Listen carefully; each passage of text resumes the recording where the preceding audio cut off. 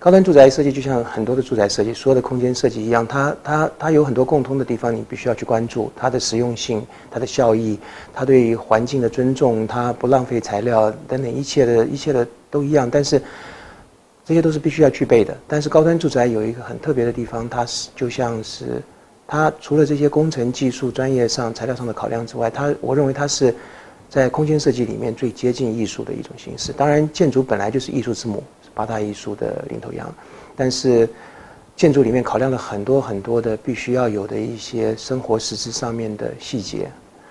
但是在高端高端的设计里面，我们有机会把它的境界再推到更接近艺术的境界的的的层次。我我认为这是对设计者来说是一个是一个很好的机会。那我认为对于一个拥有一个高端的产品的的拥有者来说，是一个很好的收藏。这是我们对高端住宅的看法跟期待。